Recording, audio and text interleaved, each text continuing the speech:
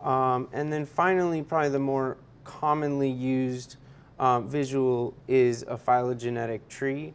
So this will represent all of um, the nodes um, on a phylogenetic tree according to their distances. Um, so I'm going to briefly cover some of the um, ways in which we can customize this visual. Um, layouts are usually the most common, commonly changed thing. So we start by default with a weighted dendrogram that's based on the genetic distances that we've calculated. But you can also look at it as just a tree where each split represents a generation and the, the bar at the bottom just kind of counts how many parents along that tree all the way back to um, the beginning.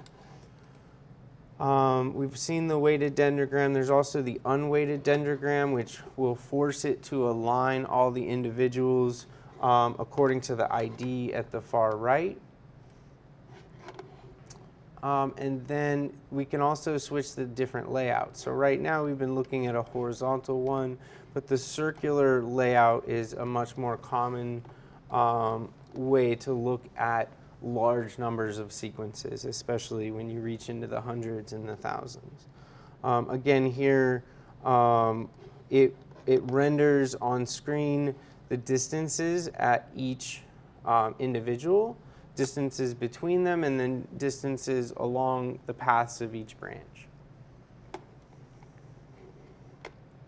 Um, there are a lot of other visuals, as you can see, that you know, specify like what the corners look like, if they're straight or rounded, or what the label sizes are, um, similar to a lot of the other visuals um, that you're used to. So here you can see the label sizes changing, where they go, um, etc.